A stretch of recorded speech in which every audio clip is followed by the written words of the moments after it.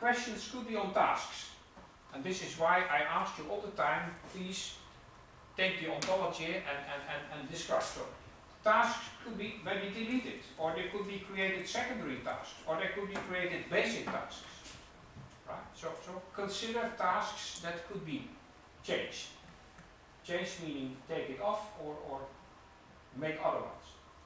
Could be agents. You, you could might decide that you need agents with specific attributes or qualifications, or that certain thing, that certain agents are, are well, out of, of, of the possibilities that the system is, is expecting them to have. Uh, about roles, you could delete roles or create new roles.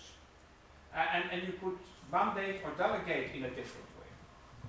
Right? So these are all decisions based on task model one that you could consider now to change. Right? And, and we discussed the issue of the primary tasks. Primary tasks, don't touch them unless you find out actually it's not a primary task, and then you have to negotiate. But, but, but change things that could be changed.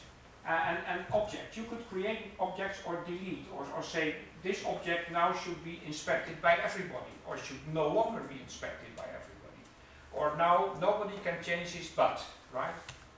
Uh, and, and events, you, you should find a way to have somebody take care of events. So this could be the dispatcher role if something happens, then it should automatically go to a person taking a certain role, and, and this role means that each event will be caught and then sent to the, to the, the, the role or, or the agent that would take care of that. So again, I'm very systematically using the concept of my ontology to say where could we change things. Right? Okay. Um, now, options could be from technology or could be procedures that change, or could be the organization that changes, which, which means, by the way, that, that uh, uh, sorry, that, that, that other people take a role, that people take no longer take the role if they wish, but get mandated or delegated by somebody. Um, representations could change, uh, like you could decide to advertise possibility or to communicate that something new is in the system. Uh, and, and, and you could, well, anything. That, that in, in, certain situations, people decide that certain people should have a uniform or, or a cap so that people know this person is entitled to take this role. Uh, and, and you could decide that some education is needed or some documentation is needed or people need the possibility to get instruction or help. So all of these things could be options. This is all ways to change things. But no design, redesign of certain things. Sorry? Redesigning? Yeah, we could redesign technology. Say when we, and, and you could redesign procedures. But the, the design itself, like the interface, is also. Sure, the, the interface is, is a matter of representation, but, but the interface is in many cases a matter of, of, of how I, I work with the interface. Do I have to look and then say yes or no, or do I type my wishes and the system will try to understand my intentions. Right? So th this is, and, and this I would consider technology because it's, it's, you could say the software in the interface, right?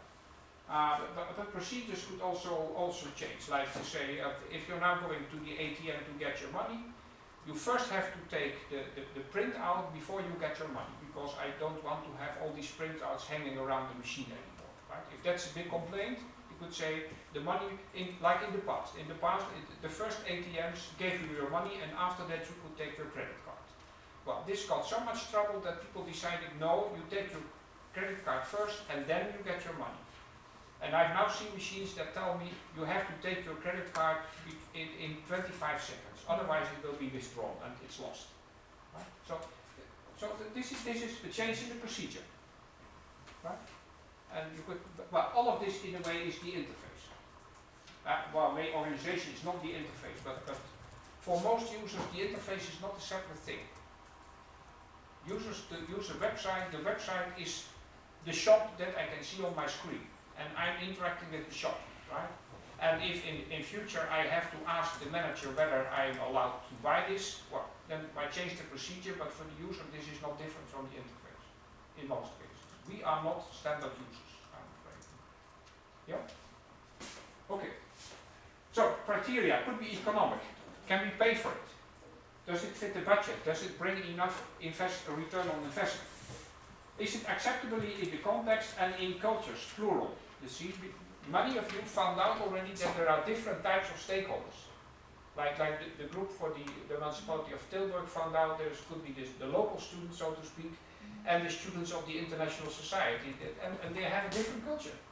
So they, they behave differently as you found out, great.